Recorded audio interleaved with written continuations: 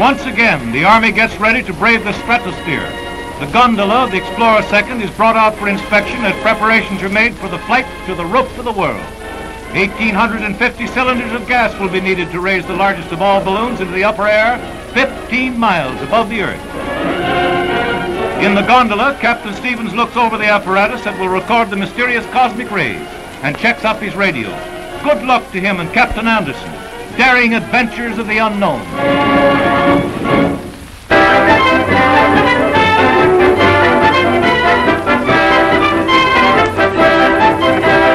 90 cadets from West Point's third year class have come to Mitchel Field, Long Island, for a week's training in aviation under the tutelage of the Army's best flyers.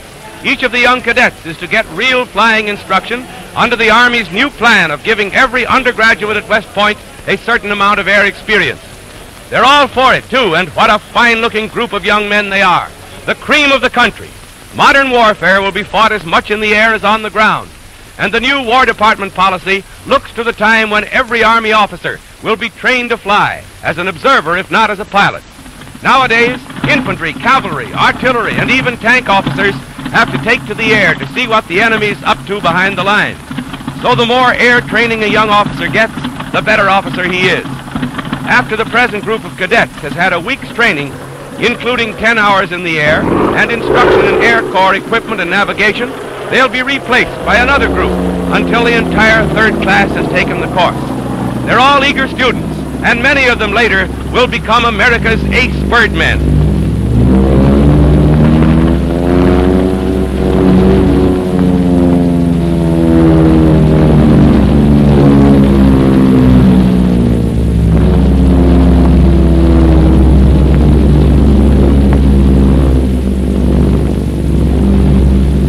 Uncle Sam's fledgling Eagles on their first flight.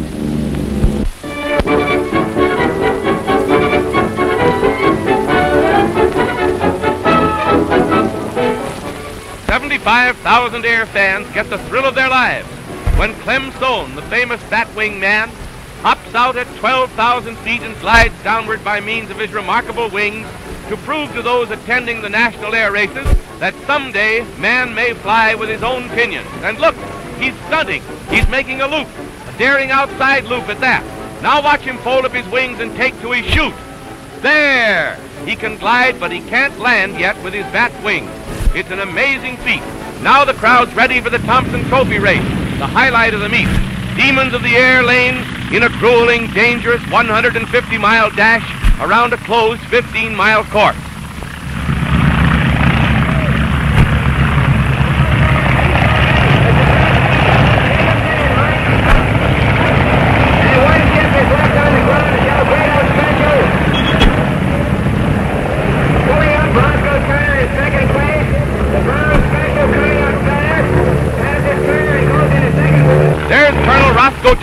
Last year's winner, well in the lead. But there's plenty of competition among the others in the race. Competition at the terrific speed of 200 miles an hour and upwards. He moved that distance up in the last lap, in the last half of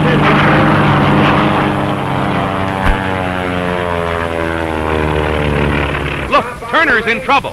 His plane's on fire and it looks like a crash. Nope, he's coming down all right, but he's out of the race. Almost at the finish, too. An overheated motor caused it, and it's a miracle he's alive. When things go bad at 200 miles an hour, you're just lucky if you live, eh, Colonel? Yep, that's just exactly what he thinks about it. With Turner out, Harold Neumann takes the lead, streaking to victory at 220 miles an hour in Ben Howard's Mr. Mulligan. Not a new record, but mighty fine flying. And Neumann gets a mighty big hand from the man who almost beat him. Congratulations, Harold. You blew a great race, and I am very proud you won this trophy, boy. No, listen, you should congratulate me for being on the ground, see, because I'm really, it was plenty close. I'll tell you, I got awful scared, see, and so I'm glad that I'm on the ground, and I again wish you continued success.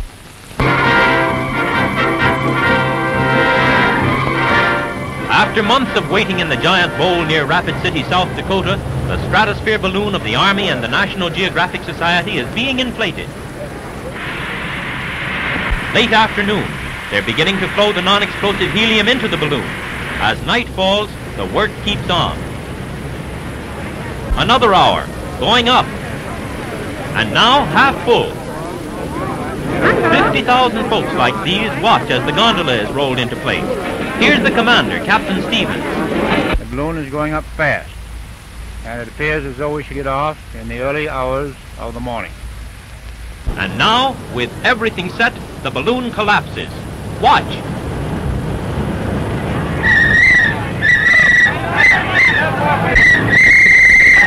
Not a man was hurt.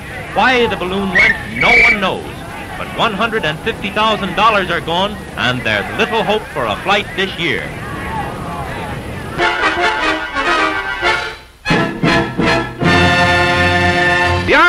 Sprouting new wings. Work is being rushed here at Baltimore on 103 high-speed deadly Martin bombers, equipped with two gunning cockpits and carrying 2,400 pounds of bombs.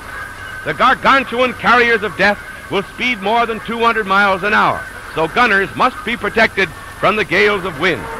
With nearly as much speed as any pursuit ship, the secret lies in the two 800 horsepower motors equipped with three-bladed propellers of a new design.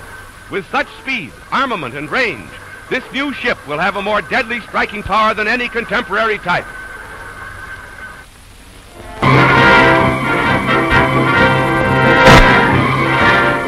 Closely guarded, the Army's newest bomber and America's largest land plane is prepared for its first flight at Seattle. It's Boeing 299. Note her machine gun turrets. The ship weighs 15 tons and is reported to have cost nearly half a million. Now she's ready to try her wing. And she goes up beautifully. Although details are not revealed, it is believed that the mystery ship will be capable of carrying six tons of bombs 6,000 miles non-stop. Death on the wing at better than 200 miles per hour. From Edgewood Arsenal, Maryland, come new smokescreen tactics. A man-made fog hides the landing party while chemical bombs boom.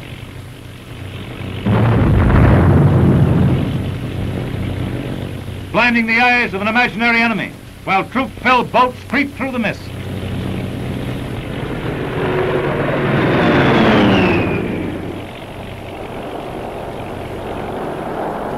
Even old Sol is almost eclipsed as the vapor shuts out the sky and lays a curtain over the river until the game of hide and seek is over. And then it's all ashore. The day is saved and the foe outwitted.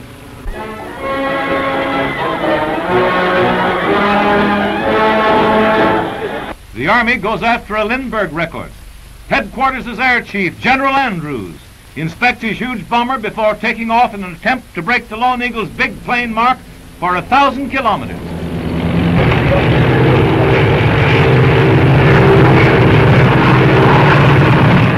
Weighed down by two 1,100 pound bombs, the giant ship roars on. A record chalked up. The Big Bertha the Skyways averages over 165 miles an hour and bounces in with an Army triumph.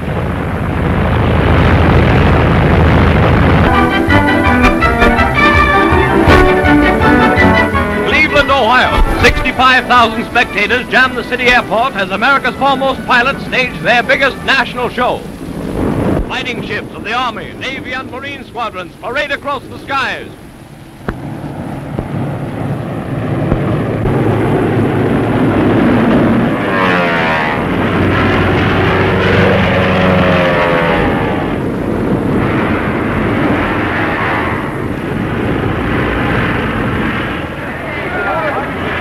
Parachute, freestyle. And here comes Clem Sohn, the human bat.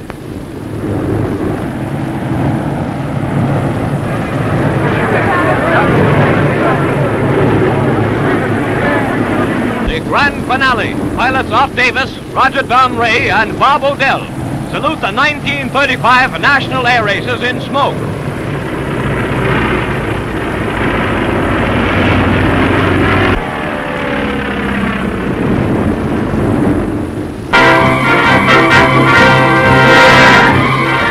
Scott Field, Belleville, Illinois.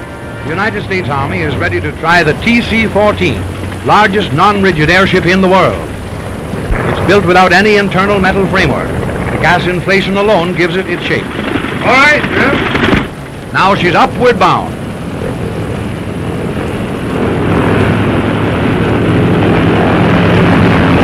As mute from a smaller sister, the new ship, now over St. Louis, is ready for service in the Coast Patrol. 235 feet long, 54 feet in diameter. Top speed, 90 an hour. That's class in blimps.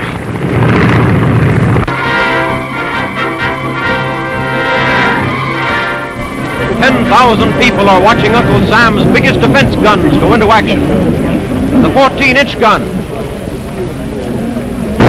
throws a shell weighing nearly a ton more than 14 miles to repel invaders on land. The new Christie tank that rips through a house like paper. It's capable of 60 miles an hour. To guard coast cities, crack aviation units, half-ton bombs under the fuselage. Look out below!